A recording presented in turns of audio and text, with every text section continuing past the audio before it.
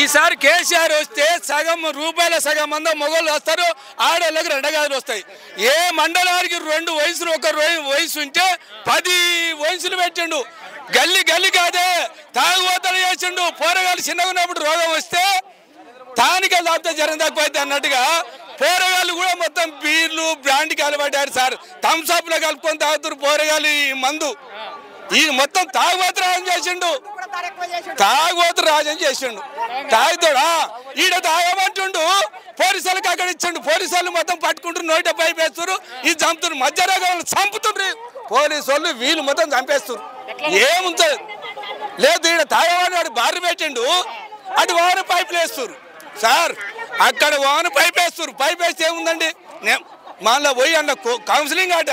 మరి అది తయారు చేసిన మందు కంపెనీ పని చేస్తే ఎంత ఉండదు కదండి?